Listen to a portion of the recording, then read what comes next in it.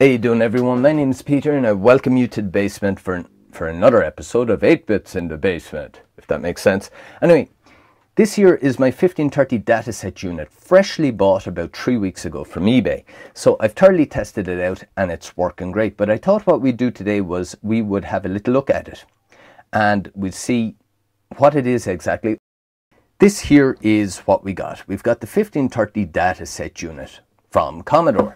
And this here is what the 1530 datassette unit looks like. Now my history with this unit is kind of long and is kind of love-hate type thing because back in the 80s when I had my Commodore 64 it was my main only computer that we had in the house this was the only way we had to put software onto it and also to save any little programs that I had written or whatever onto blank cassette. And I remember that sometimes it worked great and other times it was it was really a pain to be quite honest about it. Because I remember buying cassettes coming home putting them in trying to load them they wouldn't work bring them back to the guy in the shop saying there's a problem with this cassette. They'd try it in the shop in front of me and it would work. And it always baffled me as to why that was. It's only recently I figured out why. Well I didn't figure out I was told why. And I figured I would um I well we'd we'd have a go and see see uh, how hard that problem was to solve because I mean at the time nobody had a clue. There was no internet and in magazines they didn't really speak about that. So um, yeah, no, for the sake of this episode I figured what we do is we'll have a little look at this unit, we'll open it up, have a look on the inside, have a little chat about um, what it is and how it differs from a regular cassette player. And yeah, and we'll move on from there and see what's what. So here we are anyway. We've got our 15, this is actually a 1530 model C2N datassette. And it is capable of recording and also uh, loading games onto your uh, onto your Commodore 64 or C16 or VIC-20 or C128. And uh, the keys, or the keys are the buttons more so. We've got our eject, our stop, fast forward, rewind, play, and record. So nothing different from a regular tape recorder. Also, we've got a, a counter here to let us know what position we're at in the tape. And there's a little LED here to let us know when we're saving to a blank cassette or whatever. So that is pretty much that. Our eject mechanism works as such, and there are no actual inputs like um, a line in or a mic in or a headphone out or any of that. It's connected using this little proprietary Commodore connector into the back of your computer. And um, it's also got a little ground lead on it. Now, I never knew what this lead was for because this sticker, for some reason, wasn't on the datassette that I had. And it explains here that it's a ground cable that's only to be used in the US and it is to comply with FCC regulations. So actually there's no need for it here in Europe, it can be snipped off, but I'm going to leave it on it because it's not doing any harm tied up there the way it is. Anyway, I digress. What we're going to do is we're going to open this guy up, we're going to have a look on the inside and we're going to see what, what exactly it is. So turning it around the back here like this, we'll see that there are just four screws holding the whole lot together. So we will flip those out and see what's what.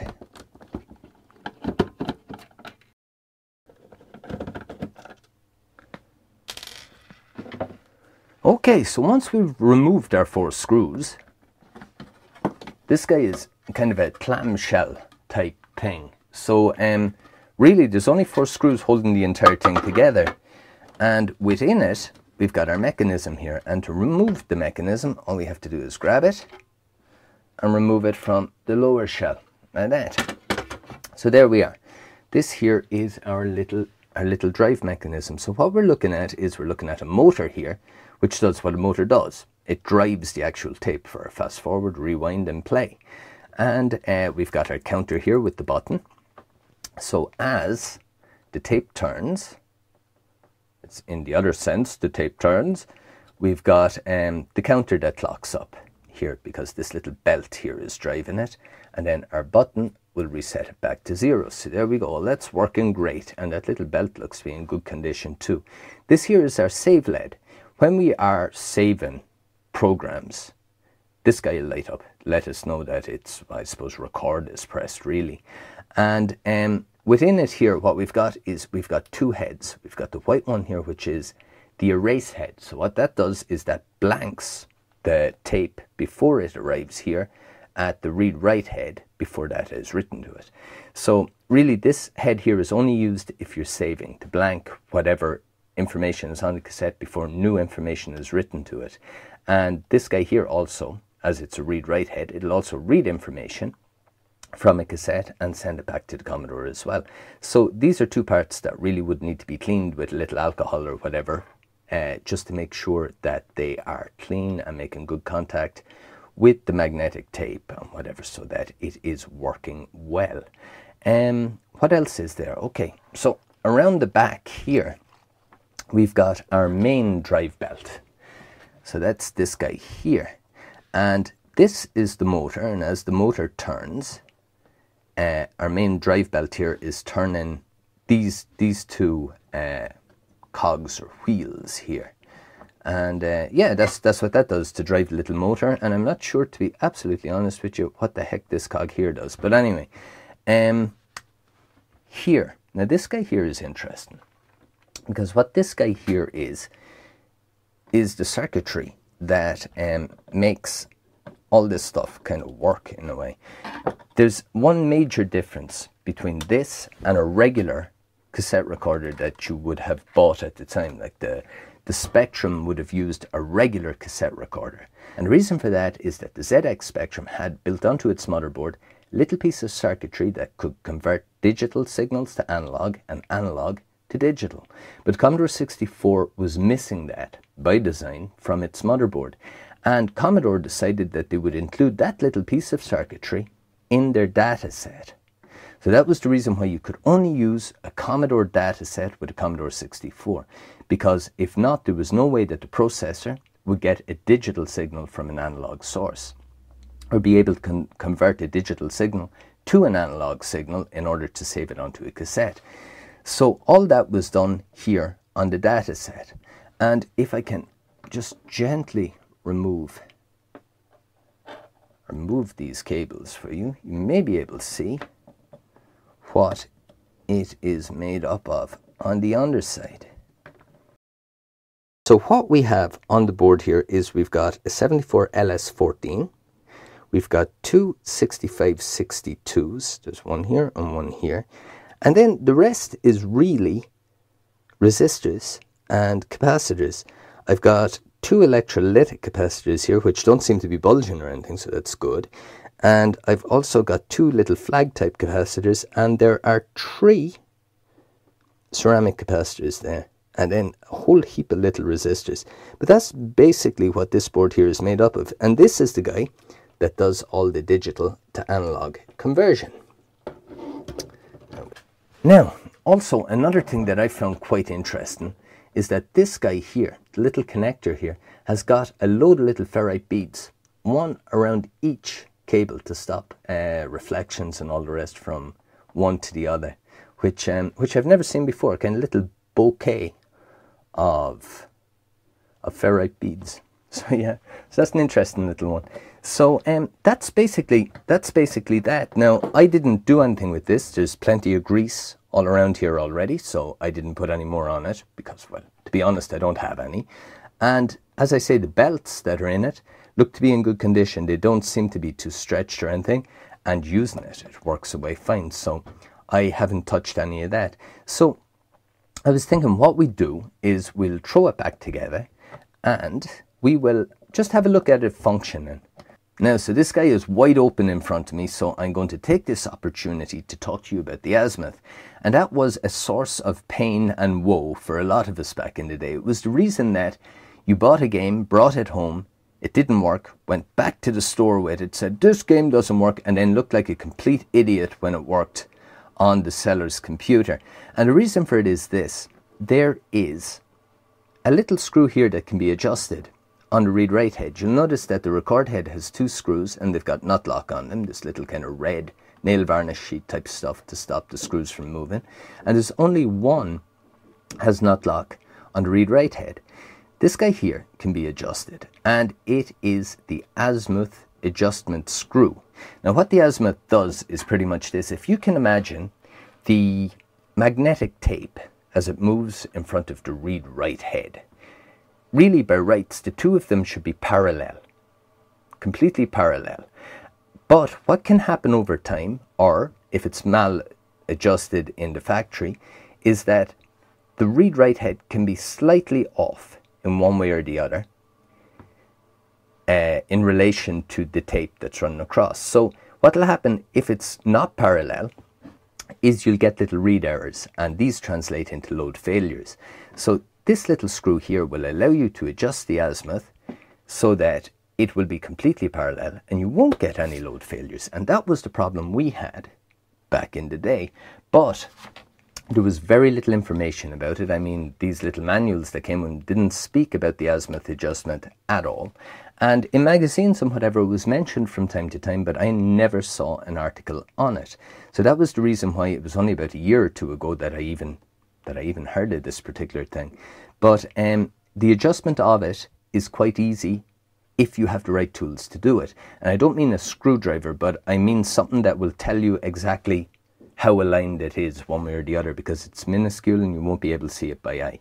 Now, there are one or two ways of doing it. You can do it with an oscilloscope and make a few connections on this board here around the back. And then there is an azimuth alignment cassette that you can get that'll play a frequency of 27 or 37 megahertz, I think, and you can use your oscilloscope to find the peak, the best point as you're adjusting this little screw. Or, thankfully, if you don't have all that, uh, there are programs on the Commodore 64 itself that you can load up using a cartridge, and you can actually adjust the azimuth that way and get the best point, or near enough the best point, it'll work. One other thing just before, if you've taken your little datassette apart and you want to clean it thoroughly, it comes apart fairly easily, but this little guy here to take this cover off, I'll just show you. It's, it's, it's not hard to do at all. Give it a little push here. These two guys here, you just push in and blap, off it comes. It shouldn't come off that violently, but off it comes. And to put it back in, offer it back up here like this. Make sure, make sure that the gap across the top here is closed. And you can, just with a little force, reclose. And there we go. That's the way that that works. Okay, so I'm back out here in front of the Commodore 64 and I'm after connecting the old C64 up to the TV using RF because that leaves the composite connection available to connect to my capture card and let you see what's going on much more clearly right about here. Now, so what I've done is the datassette is after being connected to the Commodore 64 in the usual normal way. And you remember just about a second ago we were speaking about the azimuth and the way we could adjust it. So I'll show you I'll show you how to do that. So you don't actually have to take the datassette apart at all to adjust the, the azimuth. You'll see that just over the second M in this Commodore logo here, there's a little hole. And this little hole will allow you to put in a PH00 screwdriver like this and adjust that little screw one way or the other to align the azimuth. So you can make it tighter or looser. But that's all well and good. But unless we have a visual representation of whether we're making it better or worse, we don't really know what exactly we're doing. So thankfully there's after been a number of programs written for the Commodore 64 that will show us on screen whether we're aligning it correctly or whether we're going a little further away from where we should be. Now to load these up, you load them up in, in the regular regular fashion. You can use the data cassette, although this may be a little problematic if the azimuth is fairly far out of whack or you can use a modern likes of Kung, Kung Fu Flash cartridge or uh, any of the other cartridges that will allow you to load up programs on the Commodore 64. But today what I'm going to be using is my 1541 disk drive because I haven't used it in quite some time. So um, I'll just load up the little program and then I'll show you how it works.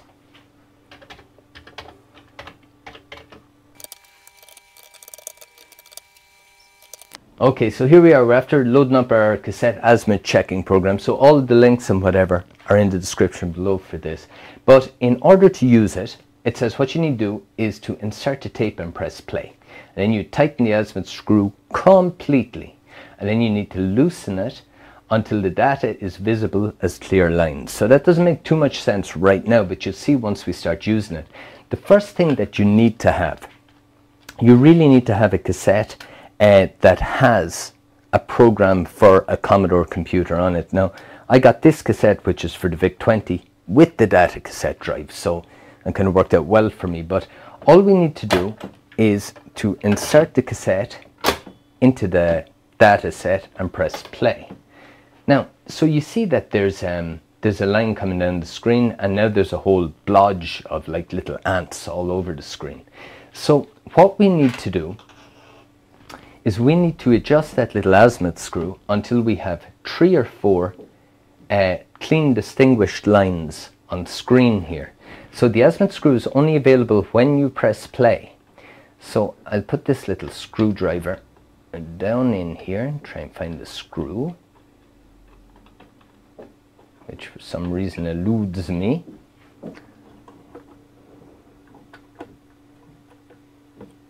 There we go. Now, and just turning that screw, you'll see that I can get a point where the lines are straight, but they're also kind of thin, at the thinnest point. And that is where the azimuth should be best. And that's basically all that's to it. Um, that's pretty much it. The azimuth should now be aligned on that fairly well and it should be able to load pretty much any program that you throw at it. Okay everyone, I'm afraid we're just after doing the azimuth on this thing and we're ready to see will it work but I'm going to have to call this a day on this particular episode. Uh, I'd like to for the future keep episodes about 10 to 15 minutes long and already I've gone way over. Uh, the reason for that is I want to be able to turn them out quicker and edit them quicker and that way maybe I can get a video out a week which I'd really love to be able to do but um, yeah for the moment I'm going to have to call it a day on this so what we've done is we've looked at it we've tested the azimuth in the next episode what I'd like to do is we'll just check and see is it working properly and also I would like to see about downloading um, tap files and that kind of stuff from the web converting them over to WAV or some type of audio file and throw them onto a blank cassette and see if we can get games to load up on the C64 from the data cassette or the datassette drive. And uh, yeah, that's that's the plan for next week, I suppose. So look, if you enjoyed this episode, give us old thumbs up. If you didn't, you know the thing is the thumbs down one. I appreciate any comments I get. And if you haven't done so already, click the subscribe button. Thanks very, very much for watching. I know your time is valuable and thanks for passing it with me here in the basement. We'll talk to you again next time. Until then, take care of yourselves and see you all soon. Bye bye.